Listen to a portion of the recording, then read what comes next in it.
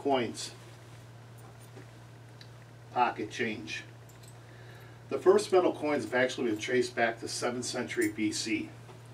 They've been around for a long time.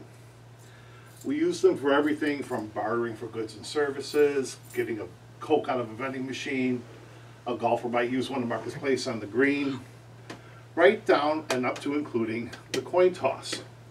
The Super Bowl, winning a, a bet.